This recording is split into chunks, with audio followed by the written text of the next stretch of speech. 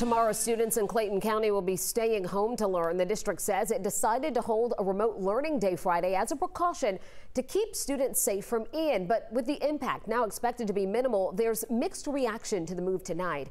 Our Paola Suro spoke with people on both sides and found out the district uh, found out how rather the district made this decision.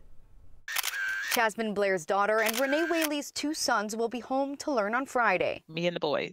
They received this notice from Clayton County Schools on Tuesday announcing students would be learning remotely Friday because of the risk of inclement weather from Ian. For this Clayton County mom, it felt like an unnecessary move. Me personally, I thought it was an exaggeration. Jasmine says she had to take a sick day from her Emory Hospital job because she wasn't able to find childcare on time nor at a reasonable cost. The money it costs for childcare is the same money you pretty much make in a day.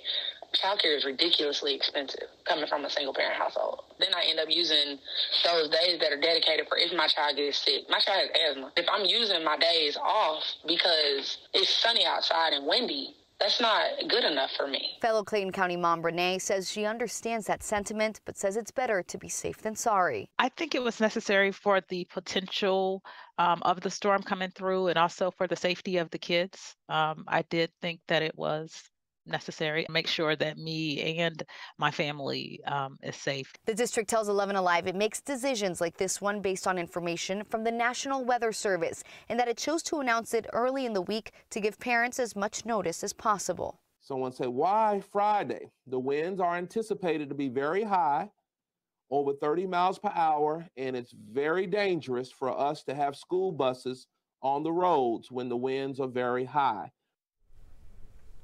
Clayton County appears to be the only district to go virtual. Fulton County schools will have regular school days, and Gwinnett and DeKalb County schools will continue classes as usual.